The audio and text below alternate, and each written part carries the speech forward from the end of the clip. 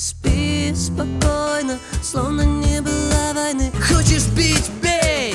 Я говорю, ты что, идиот? Ты, говорю, реально при мне это рассказываешь чуваку? В переходах играл, но когда-то я на себя смотрю и думаю, капец, чувак, кроссовки рваные.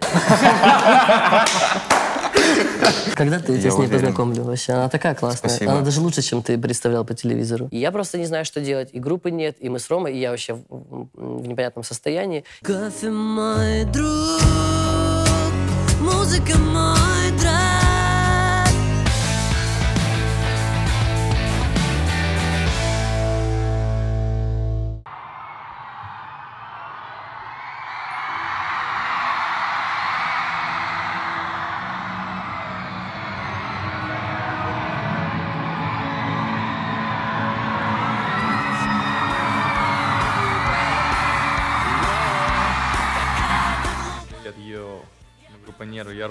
Булахов, это Димон Клочков, Женя Мельковский, Леша Бочкарев, все свои.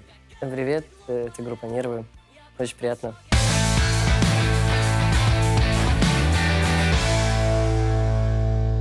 У меня так сложилось, что у меня родители музыканты, я с детства просто сразу варился в этой кухне, сразу слушал разную музыку, и там и рок, и джаз у меня постоянно присутствовал в плейлистах, которые я даже не, не сам составлял, просто так сложилось. И у меня не было никогда даже вопросов, кем я стану. Я всегда знал с рождения, что я буду музыкой заниматься. Это как бы вот так вот и пошло. Я не знаю, как так получилось. Я просто услышал музыку какую-то. Сначала я ненавидел, честно говоря. Да, меня- я терпеть не мог, особенно эстрадные вот эти все вещи. Я потом наступил период, когда я стал любить, но никому не показывал. Но родители точно знали, там не могли подглядывать за Ты мной. что, слушал музыку? Нет, друзья слушали, рядом стоял. Ну, типа того. Ну, а потом я что-то там вроде как слушал, но не раскрывал, что я слушаю, чтобы как бы не позориться, потому что раньше же я ненавидел. А потом брат на меня повлиял, он приносил кассеты, там, Пол Маккартни, там, что-то еще. Айрос Смит он принес, и все. И тогда вот Айрос И тогда ты полюбил Любе. Ну, любой через сериалы. Там в конце смотришь сериал, значит, там Слеза про, продубленный все на милицию, и в конце там позови меня тихо по имени. Классно, да. И ты полюбил Любе, ДДТ Люб- и Гуфа. Ну, это уже другая история. Это, то это случилось дальше уже. У меня мама э, была преподавателем по фортепиано, и она писала песни, и, собственно, вот еще когда мне было года четыре, она меня начала учить на пианино играть, и м, она писала песни, мы вместе пели, и там в школе уже где-то пел ее песни постоянно на каких-то праздниках. А потом дядя мне гитару свою отдал, тоже там показал три аккорда, и вот я на этих трех аккордах что-то там дальше продолжал сочинять песни. Так все и пошло. В принципе, в моем городе, честно говоря, вся музыка, которую я видел, это учитель по музыке, который приходил с таким магнитофоном. Привет, дети, сегодня урок музыки. И там, а давайте послушаем. М, Дискотеку аварию. Это Не-не-не. была прогрессивная группа.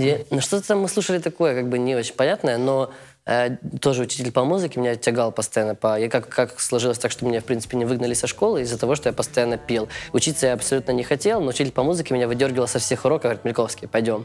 И мы сразу, и все, всю школу я провел практически в актовом зале, мы какие-то готовили какие-то мероприятия, я пел песни. Дискотеку аварию я пел.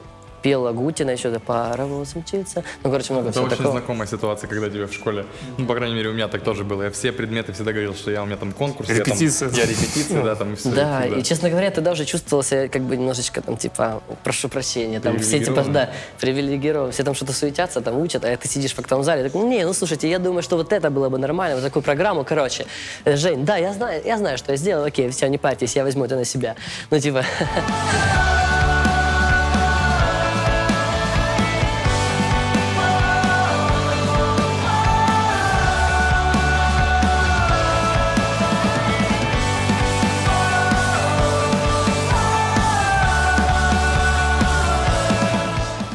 Я пел Любе, кстати. да? Ну, за- А стоило один раз петь, меня стали заставлять каждое 9 мая, 23 февраля. Сейчас так же, кстати. А на городских мероприятиях не выступал? Да. Мне объявляли маленькая звездочка города Северодонецка, Роман А ты пел, Булатов». да? Конечно. Я не мог двигаться вообще никак. Я и, и я пел, и, то есть я когда пел дискотеку аварию, свет далеких планет. Чувак, типа, я тебе покажу, у меня есть на э, кассете И но это, на припеве меня появится. заставили делать вот так. И я, типа, это было мое первое, очень делали. сложное А вот преодоление. Да, нет, так не делал. Я всегда считал, что это зашквар. Я пел, короче, Ава Марию пел, всякие классические, э, да, там Бортнянского хор, я же учился еще, а, я учился в 9 лет в интернате для музыкальных детей.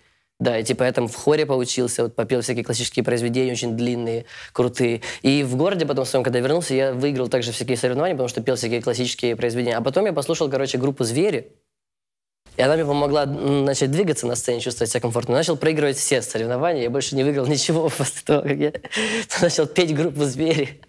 Ну, группа классная, просто люди не понимали. Типа, то есть если там всякие вокальные конкурсы в городе, все такие там показывают, демонстрируют свой вокал, а я, короче, начал слушать э, зверей, начал э, взял майку себе, надел какую-то оборванную, джинсы, джинсы, короче. И, ну и все. И вместо Авы Марии начал петь районный квартал. И на соревновании, которым я там пару лет подряд занимал первое место, я не занял никакого даже места. И я подумал, что что-то не так с соревнованиями. Вот. С конкурсом. Соревнования это больше по Конкурс. Нет, это было соревнование. Я соревновался. Больше твое. Мы, короче, ехали на фестиваль в Мариуполе. И случайно я понял, мы узнали, Даша сказала, что мы едем через мой родной город Красноармейск, который теперь Покровск. Ну и вот мы у меня на районе, вот мой дом, микрорайон Южный, 14.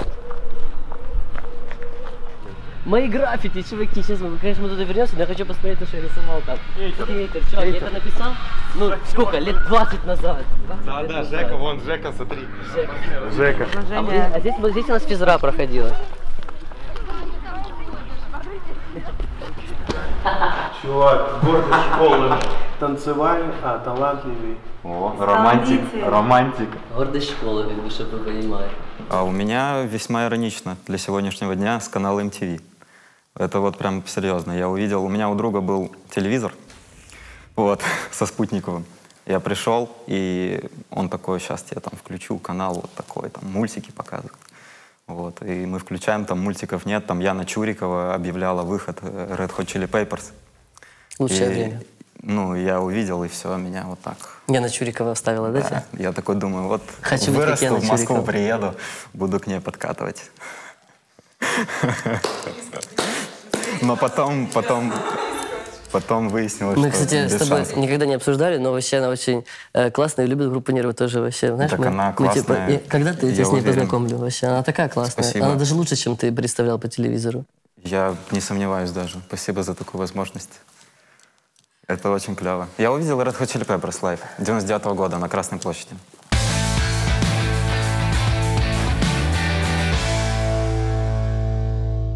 Кофе мой друг, музыка мой драк И все, что вокруг. Я могу сыграть. Дорога мой дом Небо моя тетрадь. Пока мы вдвоем мы точно не будем спать. Кофе мой друг Музыка мой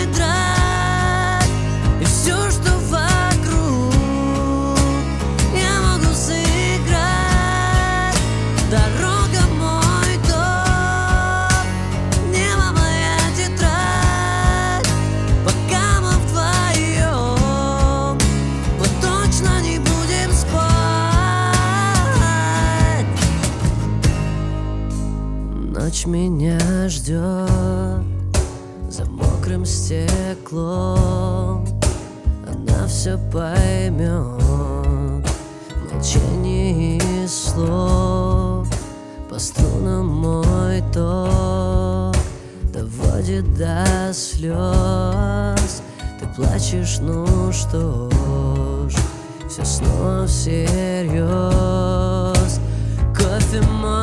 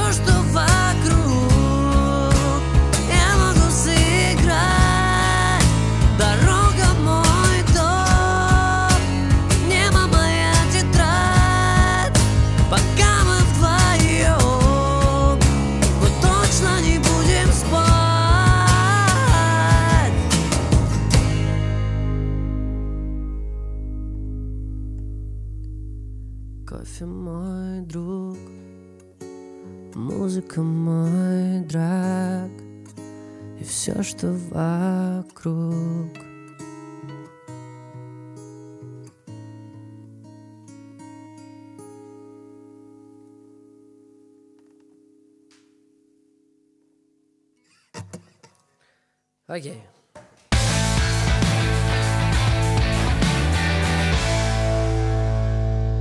MTV э, транслировал очень классную э, музыку, которая сильно на меня повлияла. То есть я тогда начал слушать как раз... У меня не было спутниковое телевидение, у меня была, короче, такая э, плата э, с проводами. Дядя был механик, электромеханик, электро там что-то с электричеством. Вот плата, к ней крепятся медные провода, и это вешается куда-то за форточку, и, ловится телеканал, но MTV не ловила. А потом вдруг каким-то чудом то ли словила, то ли еще что, ну вот словился MTV, мне уже было м, лет... э, Шесть лет ловил. и появился MTV, и появились такие классные группы, как э, э, Linkin Park, Limp Bizkit, Аврил Лавин, «Любовь моя», там, детства моего. Был такой момент, когда я шел по длинной ночной дороге, когда отец меня не забрал из лагеря, а потом забрал спустя несколько дней. Ну, это история сто раз уже рассказывал. В общем, мы шли по пустой дороге, и как бы никого не было, идти вперед километров 30 еще. А я думаю, ну все, никого нет, батя пусть идет, а я думаю, буду кричать, как Честер. И пропадает в миллионах навек Когда-то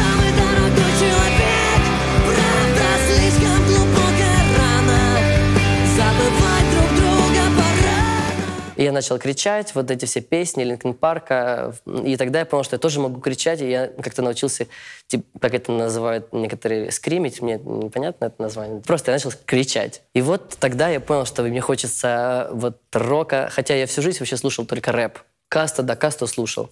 Касту до сих пор, когда у меня плохое настроение, я могу прочитать трек Каста «Ревность», у меня как будто лучше становится. Ну, в общем, я был рэпером, а тут я покричал Линкен Парке, это мне было 14 лет, я вспомнил. Я понял, что все, надо, кри- надо рок валить. Поехал в Киев учиться, а, поступил на актера, учился на актера, жил в общежитии.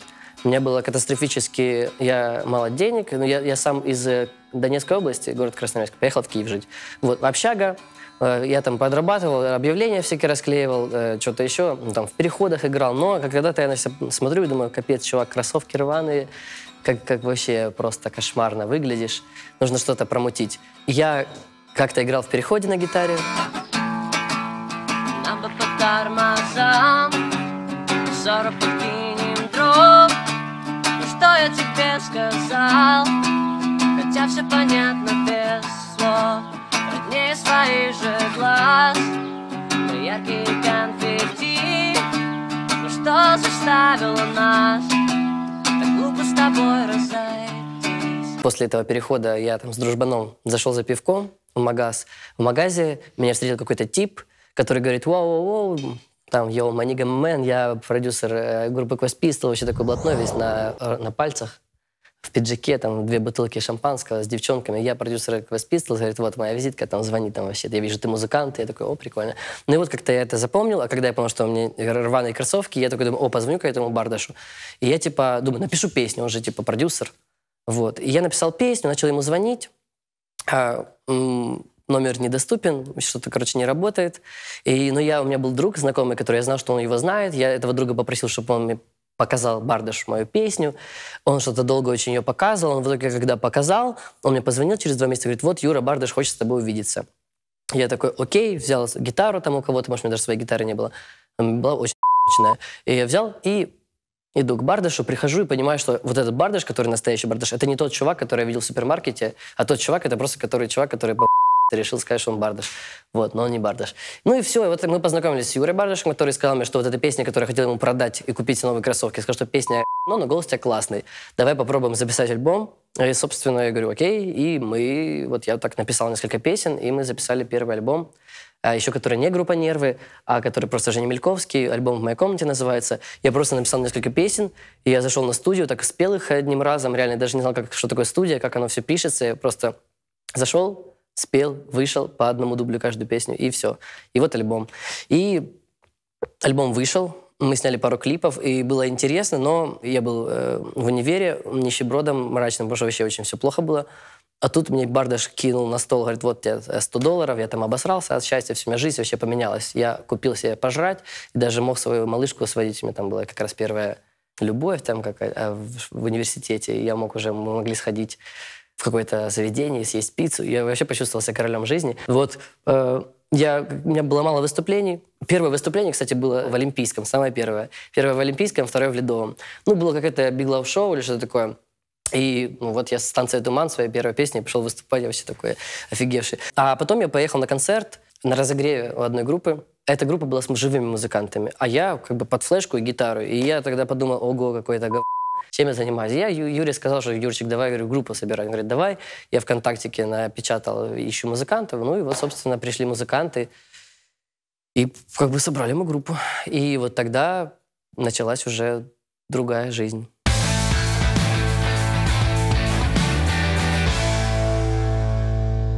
Я считаю, что именно благодаря тому, какие у нас слушатели, может быть, конечно, у нас слушатели благодаря тому, какие мы, но, в общем, вот они, они такие, и именно поэтому у нас все так круто происходит, поэтому у группы есть жизнь.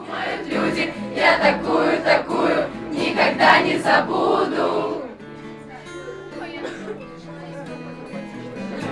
Да, нормально?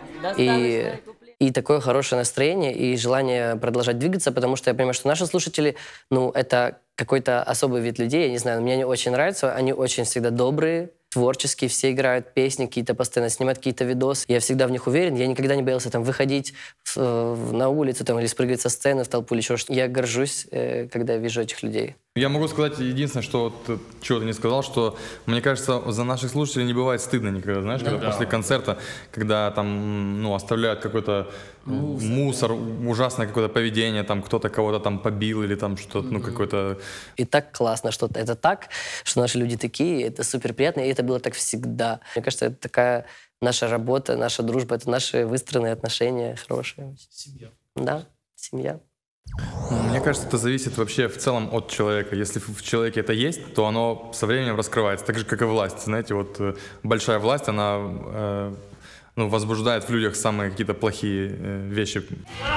Что тут происходит у меня? Как вы тут работаете? Работайте лучше. Если они в них есть. Если они в них есть, да. Если их нет, то их нет. Так, смотри, это правильно. Здесь, смотри. Это Джек Джеки сейчас все это подключить надо? Я подключу, делай. Ру, смотри, здесь, да, открываешь сейчас гитару. Здесь, смотри, да. Ну, это все ты сейчас вынимаешь, правильно. Да, да. Брюс, продолжай делать то, что делаешь. Ну все, я, в принципе, думаю, все подготовлено для работы. В принципе, работа происходит. Мы все-таки представители как бы культуры и искусства, а не там ну, я так считаю реально. Я хочу, чтобы мы ну, ассоциировались у людей как, ну, как, как мы представители искусства, а не просто какие-то чуваки. Полтава, Харьков, два билета. Едем до Полтавы. И поэтому, мне кажется, с точки зрения искусства, ну, как-то странно будет выглядеть, если будут ходить какие-то пафосные или там... То, что люди реально, я прям наблюдаю, просто я знаю их сначала, когда они просто были никем совсем, вдруг они становятся популярными. Что с ними происходит, это правда. В смысле, почему? И тебе говорят, да чувак, наверное, типа зазвездился, наверное, популярность. А я такой, да нет, такого же не бывает, это же все миф.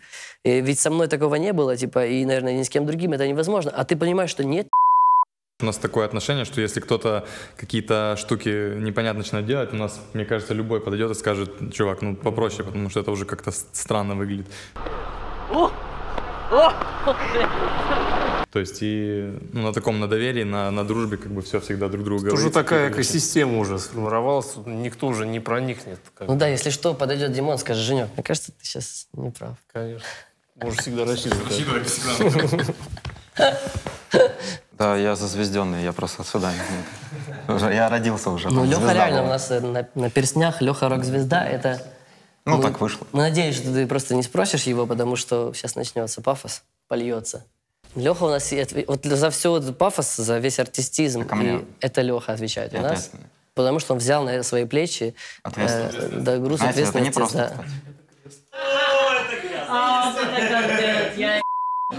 Вы лохи! Он выглядит так, что вопросы все отпадают. Он просто приходит такой, так. Так, блин. Ну, все такие, он сказал, так, блин, как круто. Это опыт. практически. Ну, это началось буквально там относительно недавно, но вот последний тур мы ездили, у нас в каждом городе, в каждом отеле был спортзал, мы в него ходили. А если его нет, мы искали спортзал где-то, где он есть, и ну, разово. Ну, не все, конечно, но большая часть команды всех ходили. Ну, это типа, я могу сказать, что это вынужденная мера. Это два выбора, два варианта, как ты едешь тур. Тур — это тяжелое э, физическое, психологическое событие такое, потому что ты полгода в году или даже больше Э, да больше, гораздо больше. Ты находишься просто постоянно в автобусе, на концертах, на, ну, постоянно режим э, хаотичный. И у тебя два варианта. Либо ты каждый день просто бухаешь и вывозишь этот тур на э, алкоголе и на том, что ты типа игнорируешь вообще свой организм, потому что ты всегда бухой. А, либо второй, ну, ну ты по-любому вернешься и поймешь, что ты как будто постарел на пять лет за один тур. А второй вариант это как бы альтернатива. И мне кажется, что спорт Э, для того, для поддержания, опять же, своего духа и физического состояния. Э, вместо того, чтобы бухать, мы начали просто, ну, просто отжиматься. уже. Да, отжиматься, ходить в залы, э, есть здоровую еду. Но это интересно. Нужно сейчас как-то привычки, есть привычки, можно их заменять на какие-то более просто здоровые. Да и просто, ну ты еще, а, ну ты же еще начинаешь выглядеть а реально, ну, когда бухаешь, ну, типа, ну, что там просто лица нет. Э,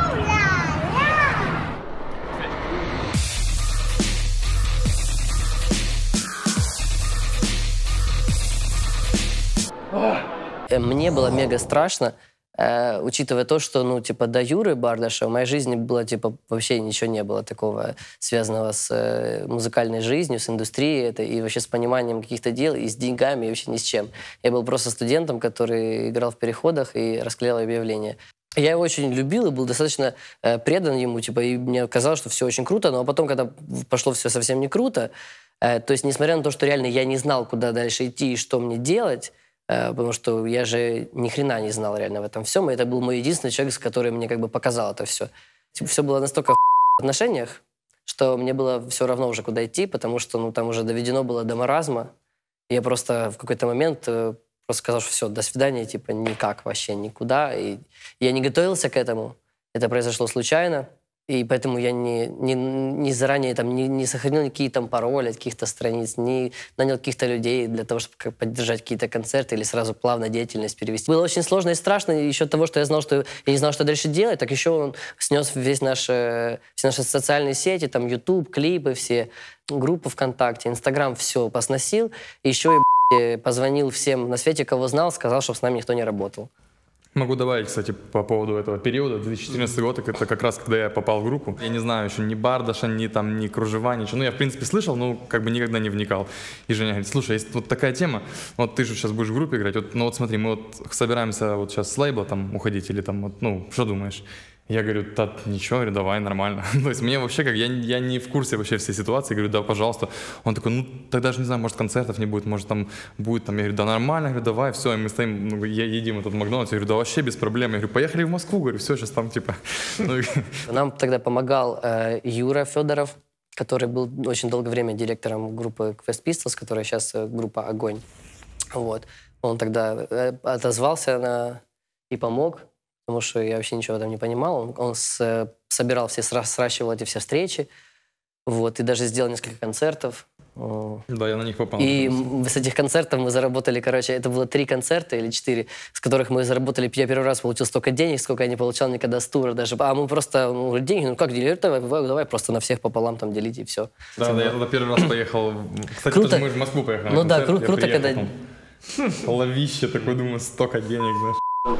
Ребята, я дико извиняюсь. Я дико извиняюсь. Ребята, я нет, вот, нет. сам человек не пьющий тоже. Нормально сидим. Нет? Когда деньги делятся, да, когда ты не 6% получаешь, а просто свою часть. Рома принял решение. Он должен был как бы зарекомендовать себя. Он либо должен был хорошо все сыграть, но он решил, что он будет не басистом, а шоуменом. Я сразу пришел в гример, говорю, пацаны, я сегодня, ну, просто можно он говорит, конечно. Я вот так вот просто начал пить вискарь или что-то. У меня просто был взрыв какой-то эмоций. И я просто напился этого вискаря жестко, запил колой, вышел на сцену, два раза прыгнул, там все перемешалось, и у меня просто в голове все перемешалось. Я ни, ни одной ноты не сыграл, но двигался очень круто. Но фотки, фотки с вот концерта такие. были Фотки были вот такие.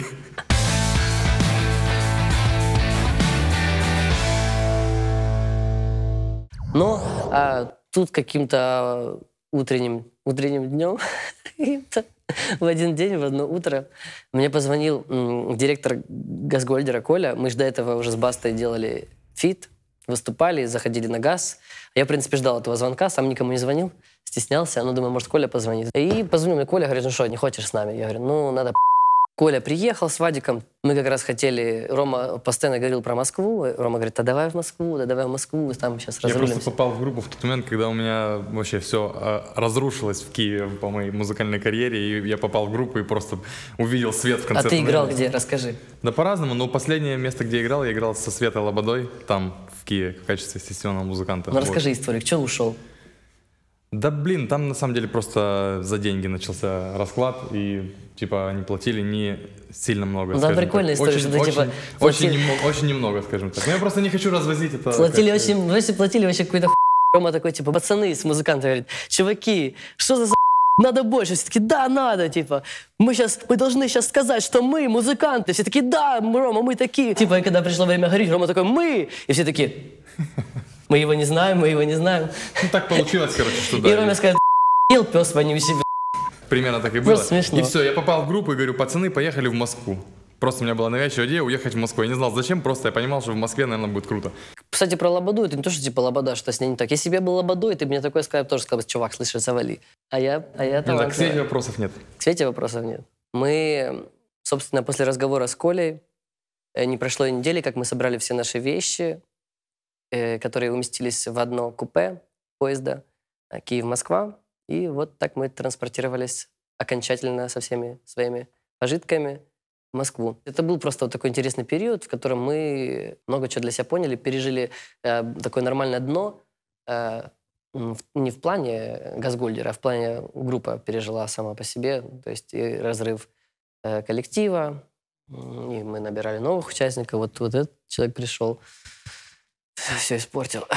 Ну, можно считать, что это был такой толчок. Знаете, как говорится, что чтобы чего-то достичь, нужно коснуться дна, чтобы оттолкнуться. Но, мы, возможно, мы это- коснулись мы дна, коснулись, вот. Да, но, возможно, это вот... э, Ну, невозможно, а сто процентов это этот период. И я просто не знаю, что делать. И группы нет, и мы с Ромой, и я вообще в, в- непонятном состоянии. И Рома просто прислал мне как-то гитару, говорит, братан, гитару я записал, вот партию такую, сочини на эту гитару песню, ну, слова, мелодию. Я сочинил, он меня взял за шкирку, потащил на студию. Рома говорит, запиши теперь. Я записал, говорит, ага, завтра, говорит, приходи, мы снимаем клип. Рома говорит, «Э, на фотостудии, на лампе. Да, да, я понимаю. Я просто Вот.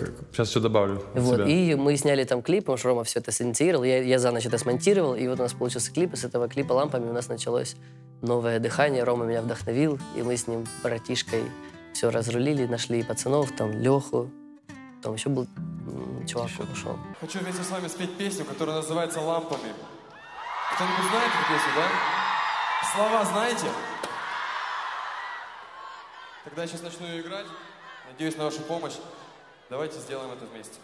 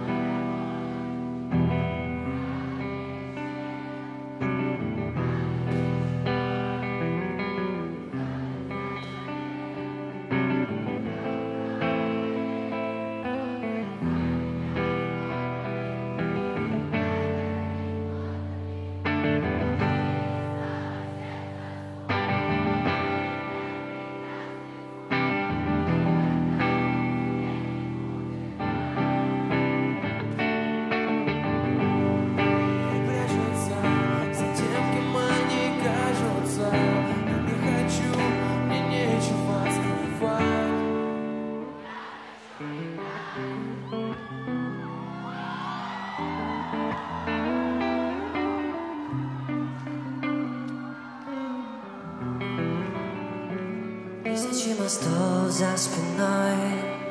Сгорела со мной Не смешной. Цирк передвижной. Что ты хочешь знать? Чтоб так глубоко копать? Мою душу полезли Обнаружили лезвие. Чисто сердце стук Подваны темп и грязный звук Он никогда тебе не будет врать. Люди прячутся за тем, кем они кажутся. Я не хочу, мне нечего открывать. Чистого сердца стук Подваны темп и грязный звук. Он никогда тебе не будет врать. Люди прячутся за тем, кем они кажутся Я не хочу, мне нечего скрывать Я хочу играть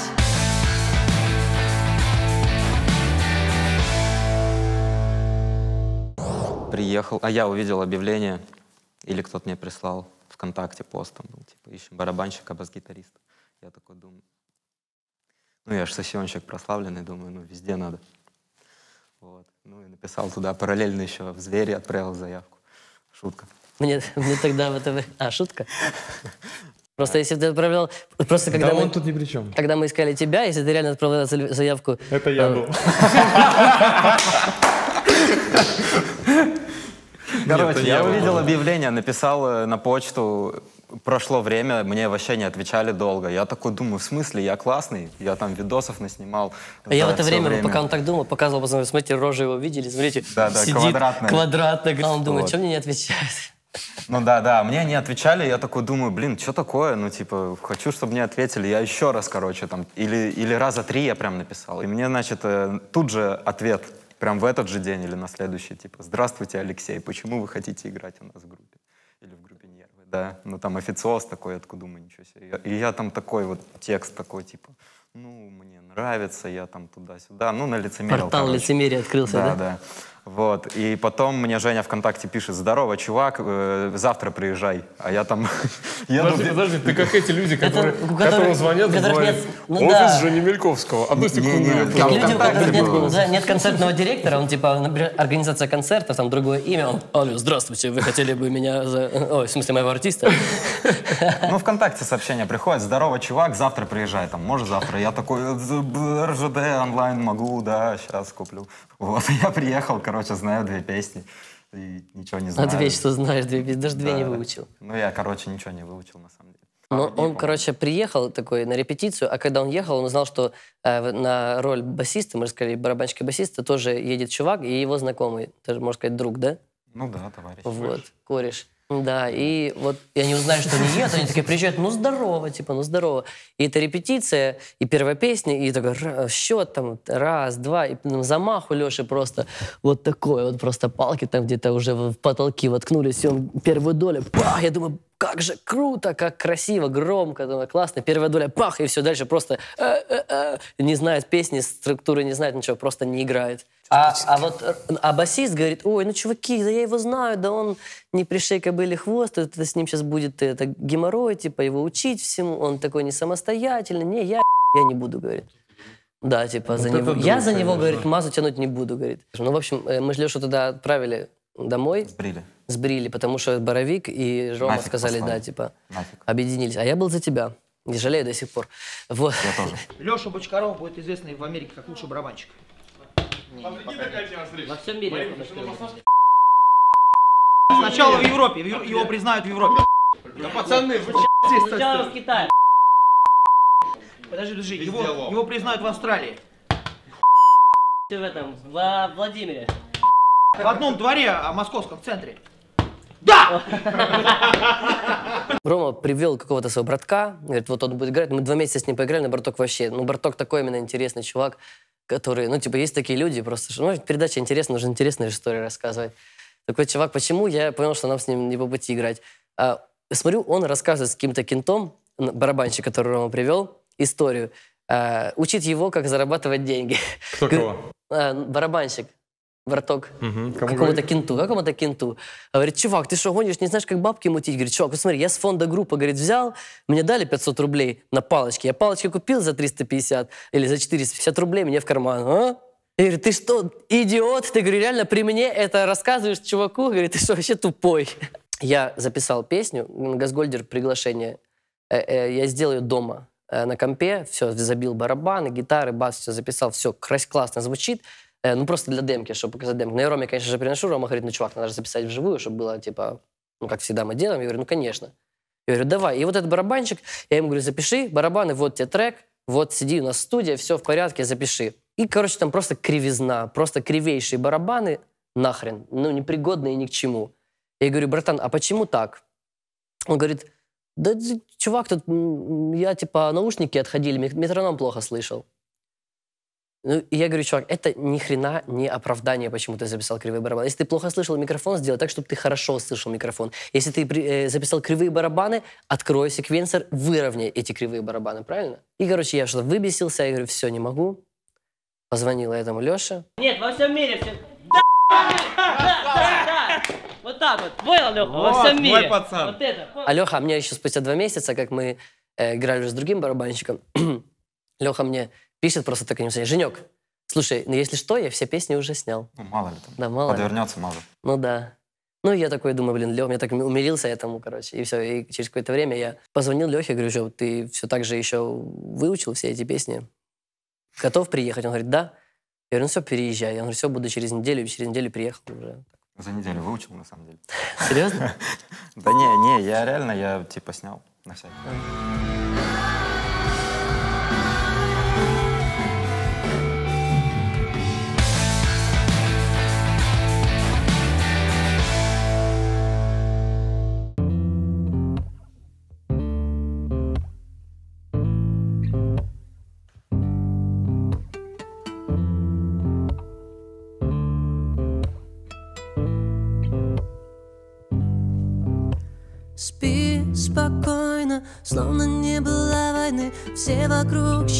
Счастливы, все грехи отпущены. Спи спокойно, словно не было войны. Спи спокойно, словно не было войны. Все вокруг счастливы, все грехи отпущены. Спи спокойно, словно не было войны. Все грехи отпущены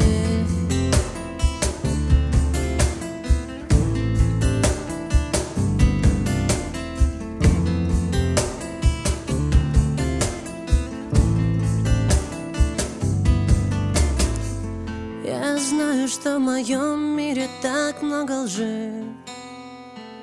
Точно так же, как в вашем каждый день заставляет нас строить этажи Чтоб казаться кем-то более важным Но за стенами все так же люди просят еды. Отчаяние в глазах и зубы скрипят. Мы выдумаем, что виноват не я и виноват не ты Но мы не сможем обмануть себя. Спи спокойно, словно не было войны. Все вокруг счастливы, все грехи отпущены. Спи спокойно, словно не было войны. Спи спокойно, словно не было войны. Все вокруг счастливы, все грехи отпущены. Спи спокойно, словно не было войны Все грехи отпущены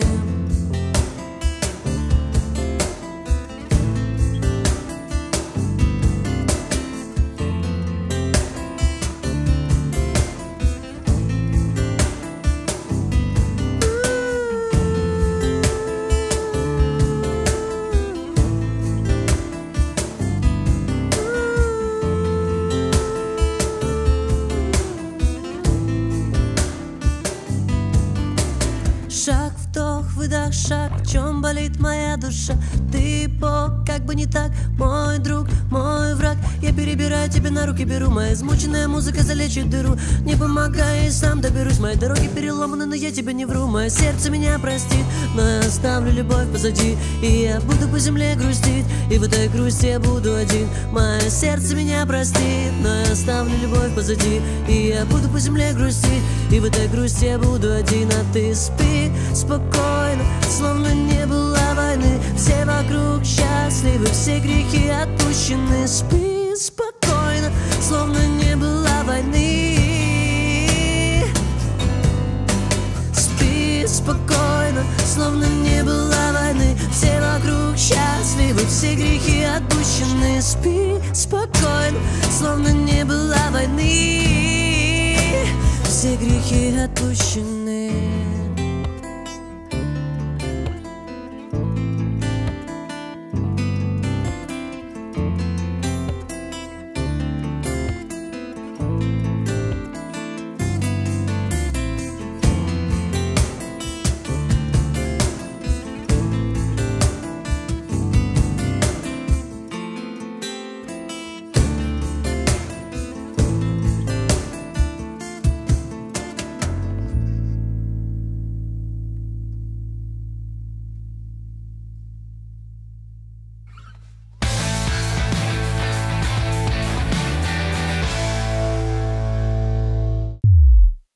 Слишком влюблен. Позовите их по имени. Э, Синегда Хамон, так чемодан. До скорой встречи, зверь. Слэм. Слэм. Слампрессия. Инстаграм. М, Инстаграм. И- Инстатюб. YouTube. Физрук. Из миллиона фильмов, конечно. Титаник. Зажигалка терять. будет, ладно. Ну, Я тебе время хотел дать, ну ладно. из тех, что вышли, у меня спи спокойно. Но есть еще на новом альбоме Женя написал кое-какие новые. Ну, Я вообще никогда не отвечу на этот вопрос. Нечего терять. Тяжело, не могу, это сложный вопрос. Не Ну, у могу. меня есть а, Nine Inch Nails Hurt. Э, Red Hot Chili Peppers Under the Bridge. Пусть будет. Amatory черно-белые дни.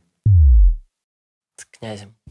О, клевая идея. Я вообще, если серьезно, с- конечно, с Земфирой и Сплином вместе вот такой тройной фит. Там. Не знаю, ни с кем не хотел бы. Я лично ни с кем. Я, Я, бы с, не, крутой. вообще с Эминемом, строго с Эминемом хочу фит. Лучше, чтобы там был Земфира, Сплин и Эминем. Прикиньте, вот такого никогда не было. Леша, ты с кем? С Кори Тейлором. С Кори Тейлором? Хорошо. Вообще, О, я сейчас хотел бы... Первый на- раз проматерюсь сейчас. Нафиг кавера. Не, я бы хотел, кавера? я Вообще хочу сейчас спеть значит, Нафиг это мат песню- был? Не слушайте. Короче, бумбокс, хэппи энд называется Happy песня. End, да. Гастроли. Гастроли. Ночь. День. День. Квартирник. Квартирник. Большой концерт. Большой концерт. MTV. MTV. Я оба варианта. Слушай, сложный выбор, да.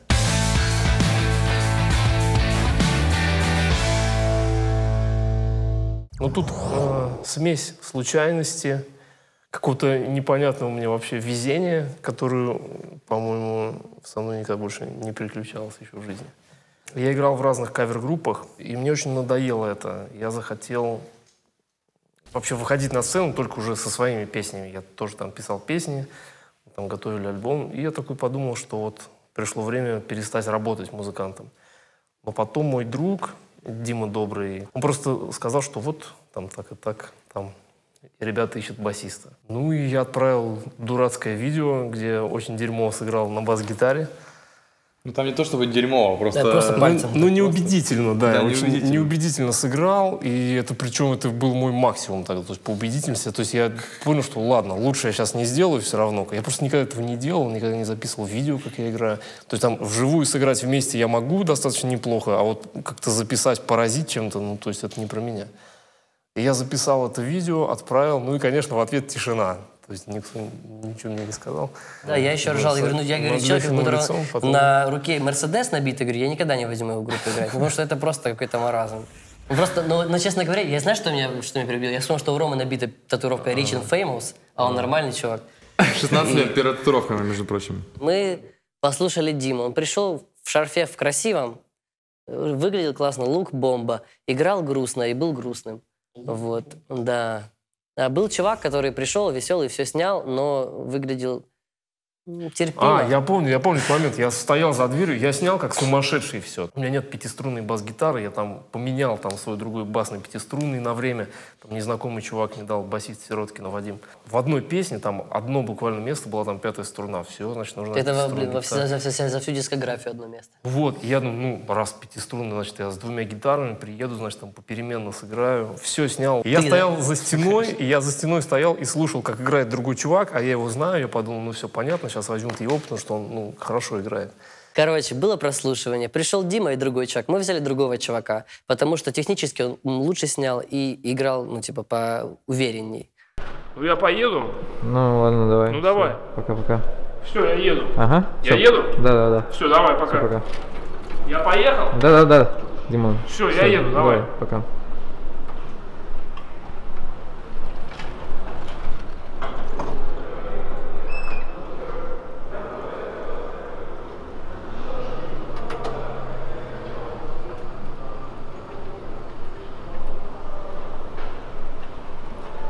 Но в тот момент, когда нам нужно было ехать на первый концерт в Архангельск, э, как бы я решил почекать историю этого чувака, которого мы взяли на бас. А он там в историях, «О, короче, типа, тут снимаю песни группы «Нервы», ну, вообще сложно, но я сейчас я сниму вот, как бы список.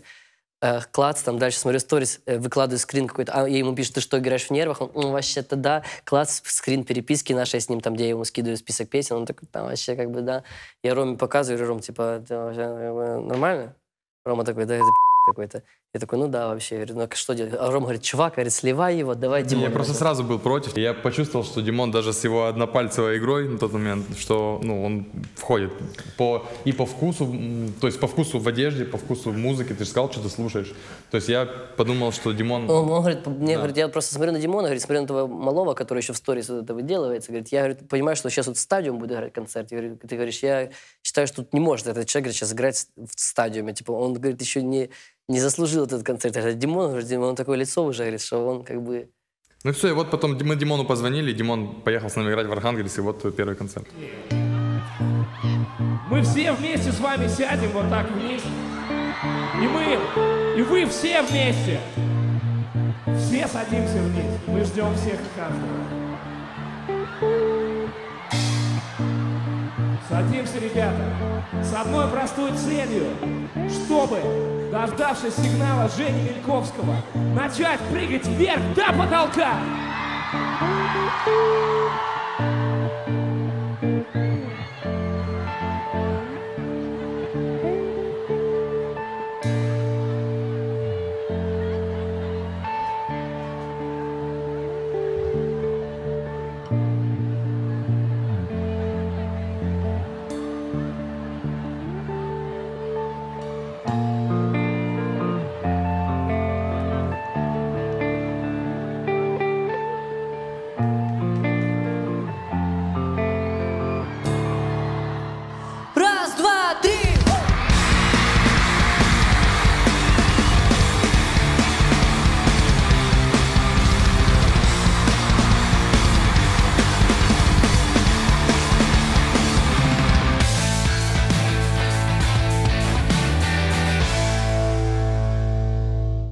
Как раз это произошло, когда мы собрали группу, вот первый раз в жизни. Э, И это был первый альбом, который я купил в магазине вообще, ну, то есть диск. А когда-то у меня был первый, первая кассета, и это было, кажется, многоточие «Треть жизни свобода».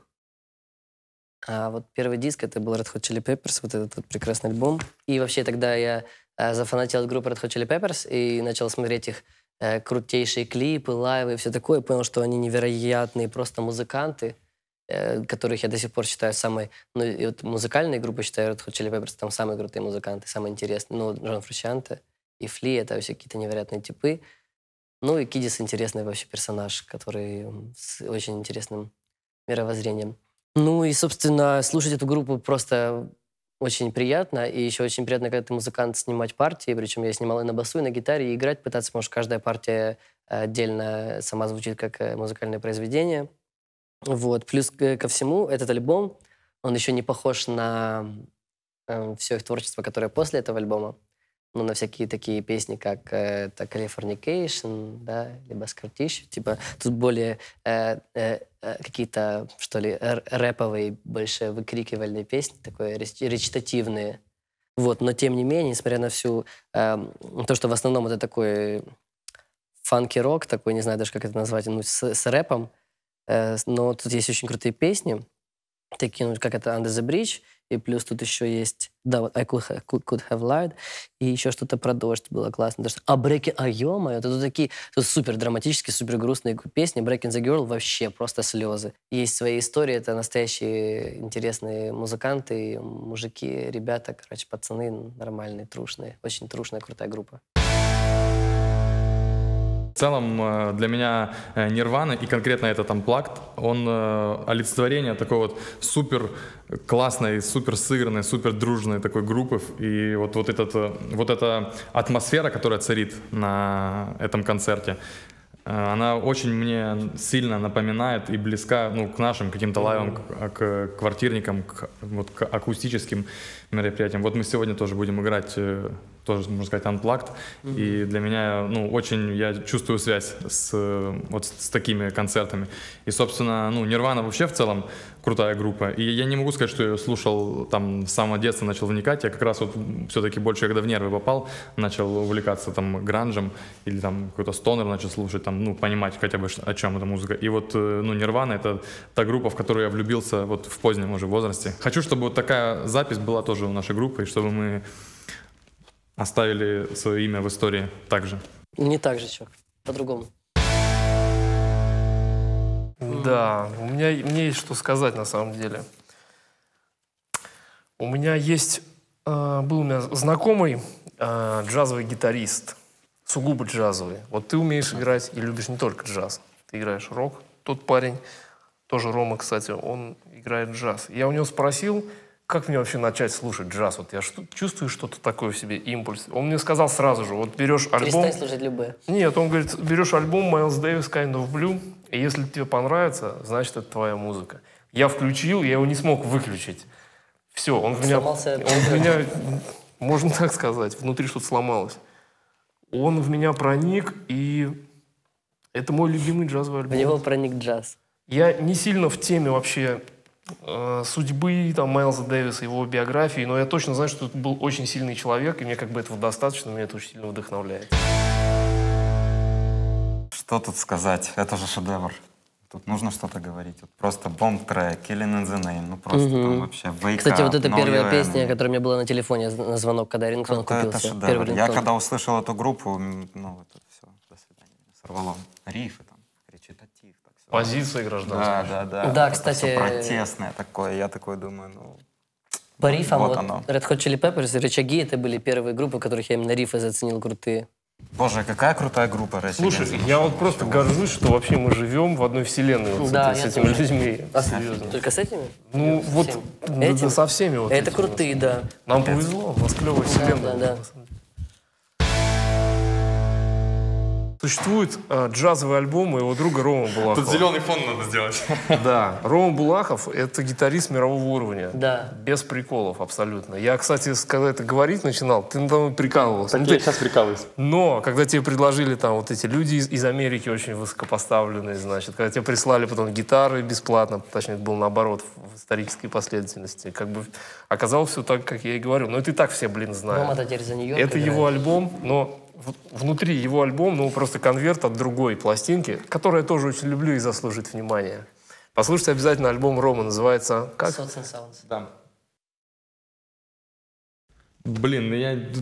Можно долго, короче, рассказать. Просто наступил момент, я понял, что я хочу записать свой альбом джазовый. Как-то собрал, полтора года собирал музон, записывал его. И у меня не было до этого никогда ни винилового проигрывателя, ни пластинок. Я понял, что я хочу запечатлить этот альбом на виниле. И, короче, сделал винил. И первая пластинка, которую я получил, это была коробка с моим собственным винилом. Я, собственно, вот обрадовался, всем его подарил. Ну, и вот остаток там распродаем за копеечки. Вот. А, ну, чисто ради этого. Ты когда про свой альбом рассказываешь, мне кажется, что ты скромничаешь, скажи, как Ну, я, есть. я что просто такой э, Как ты работал ним.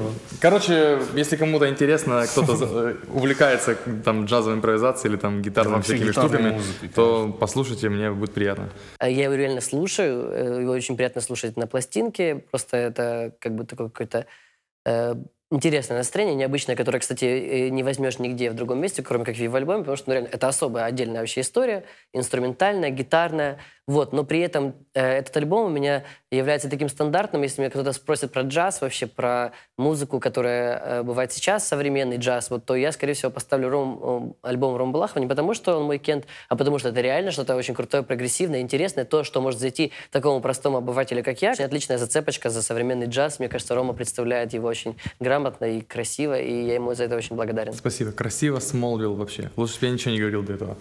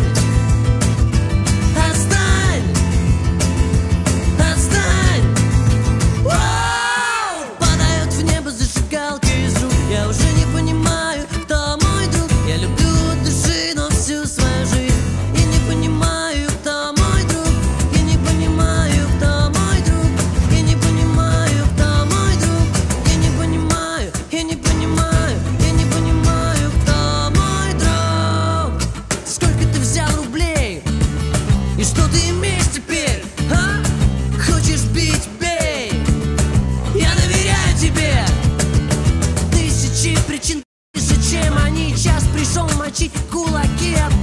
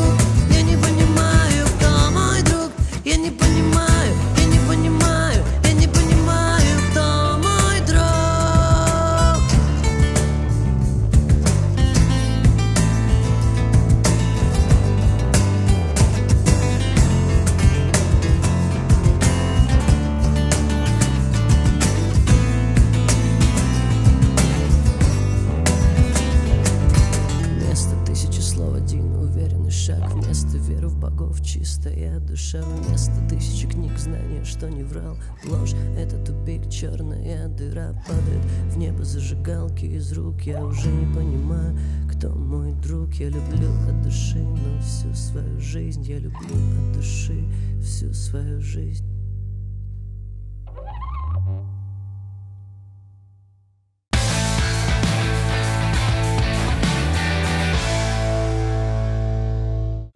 Да, как-то все получилось э, спонтанно, на самом деле. Э, ну, как идея появилась, я просто что-то мне прислал первый микс э, Пупс, чувак Макс из Киева, который сводит наши альбомы с Бобом. Вот он прислал первый микс, первая песня была «Зажигалки». Он мне прислал, я почему-то начал сразу придумывать клип э, на эту песню. И вот придумал такой. В это время мы были на Бали, и подходит Кирилл Бледный говорит, чувак, э, я бы хотел, давай я у тебя в клипе, короче, хочу сняться. Я говорю, о, давай зашибись, я как раз только что придумал клип. Он говорит, о, давай, ну и все. Не больно тебе? Нет. А если... Не больно? Так не больно. Вот. О, у тебя в нос попал.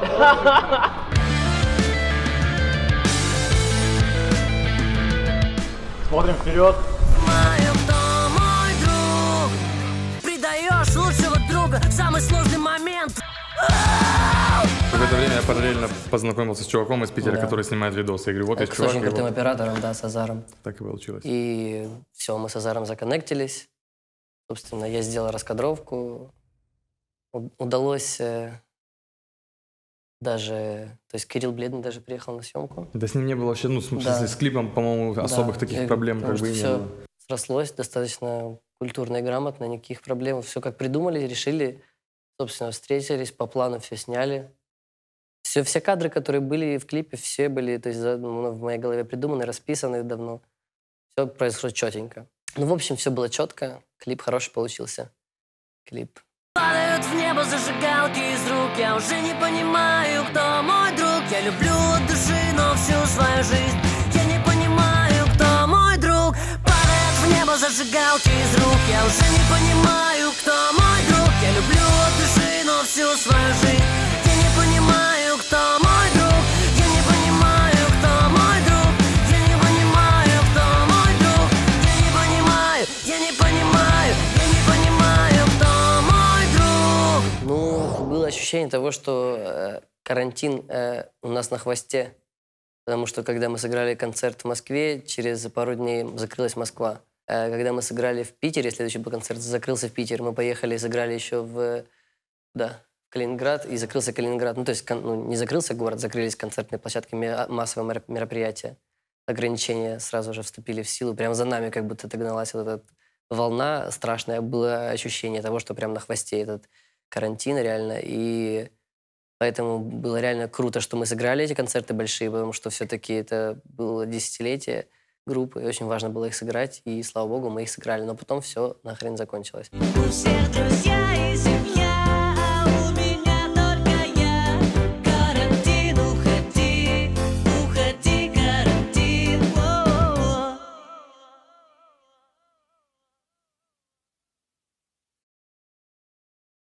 Лично для меня вот все эти большие концерты, такие как вот э, там Стадиум, или до этого у нас был Главклаб, или Мегаспорт, который будет, они такие как, э, как госэкзамен в музучилище, или там как э, какое-то такое мероприятие отчетное. И м, все очень сильно готовятся, все, вся команда, все что-то делают, что-то там занимаются какими-то вопросами, подготовкой, супер много людей замешано в концерте. И вот он этот концерт, я выхожу, наушники, что-то там не слышу или слышу, и там, ну и все. Ну вот у меня такие концерты вот так происходят. Просто раз, и все, я уже, уже конец концерта. Я такой вышел, все, все, конец, и все, и конец. Это, ну, очень такое великое событие в жизни группы 10 лет, и куча людей, все очень классно. Но я очень быстро его переживаю, вот так, фух, просто, и все, и оно растворяется. И все, и мы сидим уже, вот я пью уже вискарь, такой, о, все, мы закончили. А да, тут такое ощущение, что воспоминания, они как-то даже важнее, как будто бы самого события. Да, ну и тем более мы каждый концерт снимаем, э, и видео, и аудио пишем, ну, такие большие концерты.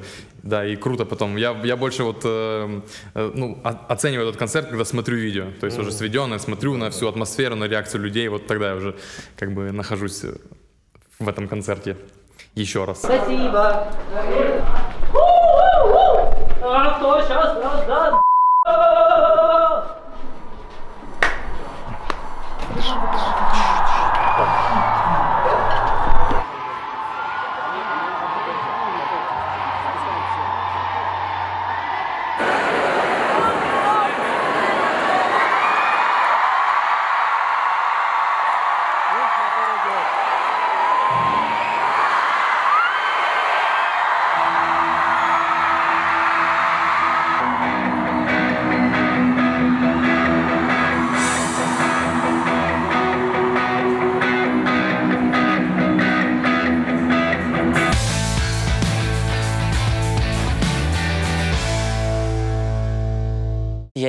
сказать, что я рассматривал существование именно конкретно группы и думал о том, сколько будет существовать группа. Для меня никогда этот вопрос так не стоял. Скорее всего, это была просто музыка и песни, которые я пишу. И как бы не было мысли, типа, а вот группа, сколько лет, что да как, какой состав, и в каком состоянии эмоционально-психологическом мы будем. Я не знаю.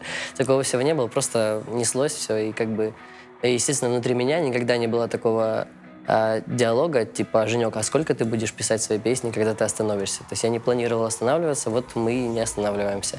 А группа приобрела именно ту форму, в которой э, это движение безостановочное имеет э, максимальный успех.